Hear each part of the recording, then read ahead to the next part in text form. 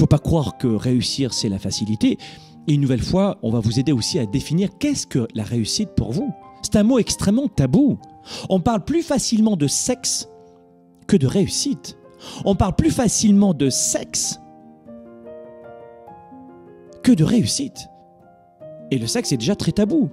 On parle plus facilement de religion, de politique, que de réussite.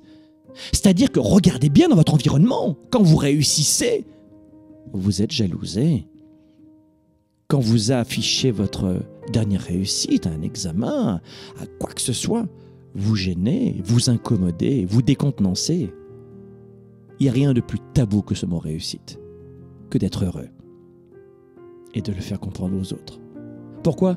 Parce que la plupart des gens un, s'en fiche de votre état d'esprit, de s'en fiche de votre réussite. Mais euh, quand vous comprenez qu'une grande partie de ces gens-là se réjouissent que vous soyez dans la dans l'échec. Oui, parce que vous leur envoyez plus de mauvaise image à ce moment-là.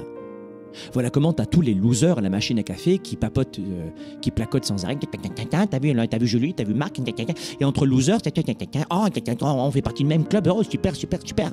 Vous avez tous vécu, vous avez tous été et toutes victimes de, de ces gens qui bitchent, qui disent du mal. Pourquoi? Ils n'ont rien d'autre à dire. Et ça les réunit, ça fait un sujet de discussion. Avancez, ne reculez pas.